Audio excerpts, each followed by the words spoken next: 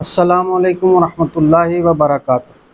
آج یلو پیس کے اوپر ڈسکس کریں گے، یلو پیس ثابت کے اوپر۔ اس کو پیلا مٹر بھی کہتے ہیں اور کچھ لوگ اس کو مٹری کی دال بھی کہتے ہیں، مٹری بھی کہتے ہیں۔ بہرحال یہ پیلا مٹر ہوتا ہے، یہ مٹر کی ایک قسم ہے یلو پیس۔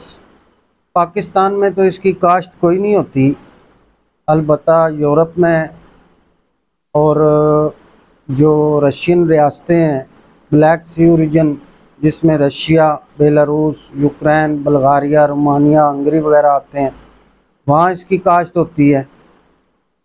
یورپ رشین سٹیٹس کی جو ہے، یہ بلیک سی کی کراپ اگست میں آ جاتی ہے۔ آسٹریلیا میں بھی اس کی کراپ ہوتی ہے، اکتوبر، نومبر میں آتی ہے۔ کینیڈا میں بھی کراپ ہوتی ہے اس کی، وہ ستمبر میں آتی ہے۔ امریکہ میں بھی اکتوبر میں کراپ آتی ہے اس کی۔ یلو پیس اس وقت کراچی کی بات کریں تو ایک سو چوالیس روپے کلو جیسے حالات بن گئے ہیں ثابت کے۔ اور، فی الحال اس میں مندے کا رجحان ہی دیکھنے میں نظر آ رہا ہے۔ اس کی وجہ یہ ہے کہ بکنگ کافی اوور ہو گئی ہے۔ ایک جہاز بک ہوا تھا چار سو پچپن ڈالر کا، جو تقریباً ایک سو چالیس، اکتالیس روپے کلو تک پڑتا ہے، وہ دس جولائی تک پورٹ پہ لگے گا۔ اس کے علاوہ ہماری دو چار امپورٹروں سے بات چیت ہوئی ہے۔ تو کنٹینروں میں بھی بکنگ کافی ہوئی ہوئی ہے۔ تو یہ ہزار سے اوپر ہی کنٹینر ہیں۔ ماہرین کہتے ہیں بارہ سو سے پلس کنٹینر سمجھنے چاہیے۔ کنٹینروں والی بکنگ سمجھ لیں کہ چار سو پچپن ڈالر سے شروع ہوئی تھی، چار سو ستر، چار سو ساٹھ۔ کرتے کراتے چار سو بیس ڈالر تک بک ہوئی ہے۔ چار سو پچپن ڈالر والا جو سودا ہے، اس کا پڑتا تقریباً ایک سو اکتالیس کا ہے۔ یہ جو جہاز آ رہا ہے یہ بھی تقریباً آپ سمجھ لیں ایک سو اکتالیس کا ہی پڑتا ہے۔ پھر اس کے علاوہ ایک اور جہاز بک ہوا ہے پچیس ہزار ٹن کا۔ یہ جو جہاز لگے گا یہ بھی پچیس ہزار ٹن کا ہے اور ایک اور جہاز بک ہوا ہے چار سو دس ڈالر میں۔ اس کا پڑتا آپ سمجھ لیں ایک سو ستائیس کا ہے۔ کیونکہ ای ٹی او جو ہے نا وہ ایکسائز اینڈ ٹیکسیشن میں اس دفعہ پوائنٹ سکس زیرو پرسینٹ جو ہے نا وہ اضافہ کیا ہے۔ اب امپورٹرز کو آپ سمجھ لیں کہ پونا پرسنٹ خراجات میں ان کا اضافہ ہو گیا ہے۔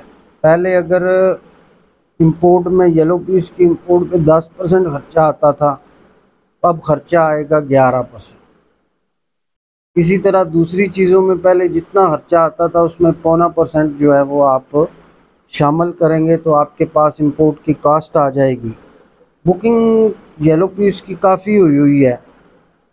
تقریباً، ہم سمجھتے ہیں کہ آٹھ ایک لاکھ بوری کی بکنگ ہے، اسی ہزار ٹن کی۔ اور تھوڑا بہت گوداموں میں بھی مال ہوتا ہے۔ اب دو تین سو، چار سو کنٹینر گوداموں میں ملوں کے پاس دو دو تین تین کنٹینر ہونا، دو دو چار چار ڈبے ہر ٹائم ہوتے ہی ہیں، جو ملر روز ملنگ کرتا ہے جس سے۔ فی الحال بازار تھوڑا سست لگ رہا ہے۔ لوکل بھی پاکستان میں چونکہ آگے ارائیول شروع ہو جائے گی۔ آپ سمجھ لیں کہ ابھی دو تین مہینے لگاتار پورٹ پہ ارائیول ہے۔ جہاز بھی لگے گا کنٹینر بھی لگیں گے۔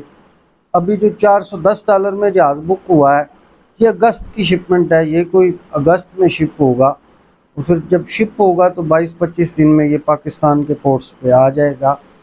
ابھی امپورٹر حضرات ایک تیسرے جہاز کی بھی جو ہے وہ بات چیت کر رہے ہیں۔ تین سو نوے پچانوے ڈالر میں۔ امپورٹرز لگے ہوئے ہیں کہ ایک آدھا جہاز اور بک کرایا جائے۔ لیکن ہمارے حساب سے بکنگ کافی ہو گئی ہے۔ یہ لوگ پیس آپ سمجھ لیں کہ کراچی کی جو، پاکستان کی جو منتھلی کھپت ہے ماہانہ، وہ پانچ سو کنٹینر کی کھپت ہے۔ اور بتیس سو کے لگ بھگ کنٹینر بک ہو چکے ہیں۔ تو دو تین سو پاکستان میں بھی ہوں گے۔ تو یہ آپ سمجھ لیں کہ سات ماہ کی خوراک جو ہے، وہ ہمارے پاس ہو گئی ہے۔ اور اگر یہ ایک ایک جہاز اور ہو جاتا ہے تین سو نوے پچانوے والا، پچیس ہزار ٹن کا، تو دو مہینے کی اور خوراک بڑھ جائے گی۔ یلو پیس میں فصل تو انٹرنیشنل مارکیٹ میں دس پندرہ پرسنٹ کراپ کم بتا رہے ہیں۔ کیونکہ جو جتنا بھی مثلا بلیک سی اوریجن ہے اور ابھی تو اور دوسرا ٹوٹل اوور آل جو ہے نا، لوگ بتاتے ہیں کہ پندرہ پرسنٹ کراپ کم ہے۔ لیکن دس پندرہ پرسنٹ کراپ جو ہوتی ہے، اس کا آپ اتمی فکر نہیں لگا سکتے۔ اس کی وجہ یہ ہوتی ہے کہ کسی سال جھیلڈ جو ہے، فی ایکڑ پیداوار کم آ جاتی ہے۔ کسی سال فی ایکڑ پیداوار زیادہ آ جاتی ہے۔ تو تھوڑی بہت ہی فی ایکڑ پیداوار بڑھ جائے تو دس پرسنٹ کی کمی، پندرہ پرسنٹ کی کمی دور ہو جاتی ہے۔ پھر بعض اوقات کنزمشن میں بھی دس پندرہ پرسنٹ کا فرق پڑ جاتا ہے۔ یلو پیس میں اس وقت جو بازار مندے کا باتیں کرتے ہیں، اس وجہ سے بھی ہے کہ انڈیا نے تقریباً پچھلے سال یلو پیس پہ ڈیوٹی ہٹا دی تھی۔ اور انڈیا نے بہت بڑی مقدار میں یلو پیس امپورٹ کی تھی۔ جس کی وجہ سے ورلڈ وائز قیمتیں بڑھ گئی تھیں۔ اب سننے میں آ رہا ہے کہ یلو پیس انڈیا جو ہے نا، آگے امپورٹ ڈیوٹی کی ایکسٹینشن جو ہے وہ نہیں دے گا۔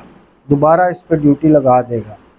اس کی وجہ یہ ہوتی ہے کہ انڈیا میں جب مونسون کی بارشیں اچھی ہوتی ہیں، موسم اچھا ہوتا ہے، تو انڈیا پھر ڈیوٹی لگاتا ہے اس لیے کہ ہمارا جو لوکل فارمر ہے، وہ اس کی کاشت زیادہ کرے۔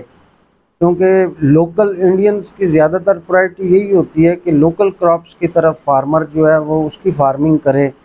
تاکہ ہمارا بیرون ملک سے زر مبادلہ جو ہے وہ ضائع نہ ہو۔ تو یلو پیس جو ہے نا انڈیا ایکسٹینشن انڈیا کے ایکسٹینشن نہ دینے کی وجہ سے کچھ لوگوں کا خیال ہے کہ تین سو ستر پچہتر ڈالر کو بھی ٹچ کر سکتی ہے۔ لیکن اب یہ دیکھنا ہے، آگے چل کے کہ انڈیا ایکسٹینشن دیتا ہے، مزید امپورٹ کرتا ہے یا نہیں کرتا ہے۔ پاکستان کے جو ہے نا آپ حوالے سے دیکھیں تو بکنگ کافی ہو چکی ہے۔ آٹھ لاکھ بوری بک ہو گئی ہے۔ اور پاکستان میں بھی مال پڑے ہوئے مہینے کا مال تو تقریباً آپ سمجھ لیں، ہر ٹائم پاکستان میں ہوتا ہے۔ کچھ تھوڑا تھوڑا گوداموں میں، کوئی ملوں کے پاس دو دو چار چار کنٹینر ہوتے ہیں۔ اور مزید بھی جو ہے وہ بکنگ کی باتیں کر رہے ہیں۔ اصل میں لوگوں نے چنا وغیرہ اپنا بیچ لیا ہے۔ چنے کے ریٹ بہت زیادہ ہائی ہو گئے ہیں، اس لیے لوگ یہ لوگ پیس باغ باغ کے لے رہے ہیں۔ لیکن ہماری سمجھ کے مطابق یلو پیس چنے کے اوپر دس پندرہ پرسنٹ تک چنے کو متاثر کر سکتی ہے کھپت کو۔ ہنڈریڈ پرسنٹ پہ کبھی بھی نہیں جو ہے نا چنے کا متبادل ہو سکتی۔ یہ ہم نے دیکھا سن دو ہزار تین میں جب پاکستان کی کالے چنے کی کراپ بہت بمپر ہو گئی تھی، اس وقت جو ہے کالا چنا چودہ، سوا چودہ روپے کلو بک گیا تھا۔ اور یلو پیس شارٹ تھی پوری ورلڈ میں، تو یلو پیس سترہ روپے کلو بک بک گئی تھی۔ تو مہنگا ہونے کی صورت میں، کالا چنا مہنگا ہونے کی صورت میں دس پندرہ پرسنٹ تو یلو پیس متبادل ہو سکتی ہے، بیس پرسنٹ ہو سکتی ہے۔ لیکن سو پرسنٹ کالے چنے کا متبادل نہیں ہو سکتی کیونکہ یلو پیس کی جو ہے وہ اپنی جگہ ہے بکنے کی۔ یہ زیادہ تر نیمکو وغیرہ میں بکتی ہے اور یہ جو اس کی نیمکو بنتی ہے اس میں اس کا بکرا ہوتا ہے۔ دال بھی کھاتے ہیں لوگ، بیسن بھی جو ہے وہ بنتا ہے، لیکن زیادہ تر یہ نیمکوں کے استعمال میں جاتی ہے۔ فی الحال مندے کی آپ ٹون سمجھیں تیزی کا رجحان ہم اس لیے نہیں گن رہے کہ ایک تو انٹرنیشنل مارکیٹ ٹوٹ رہی ہے، چار سو ستر ڈالر سے ٹوٹتے ٹوٹتے یہ چار سو دس ڈالر تک کام ہوئے ہیں۔ ابھی لوگ تین سو نوے پچانوے کی باتیں کر رہے ہیں، ابھی تیسرا جہاز بک تو نہیں ہوا، لیکن بات چیت چل رہی ہے۔ لوگوں کا خیال ہے کہ چلو سستا آئٹم ہے، اسی کو لے لیتے ہیں۔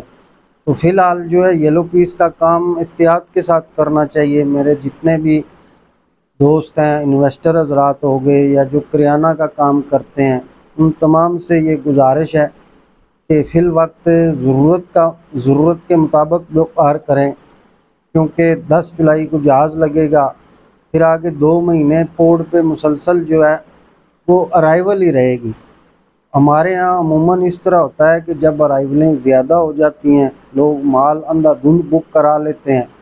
تو پھر پورٹ پہ جب مال لگتے ہیں تو پورٹ پہ پھر چھڑانے والا بھی کوئی نہیں ہوتا۔ تو اس وجہ سے احتیاط سے کام کریں۔ مزید انشاءاللہ ہم یلو پیس پہ نیکسٹ جو ہم ویڈیو بنائیں گے، اس کے اوپر آپ کو مزید بتائیں گے۔ اپنا خیال رکھیے گا۔ اللہ حافظ۔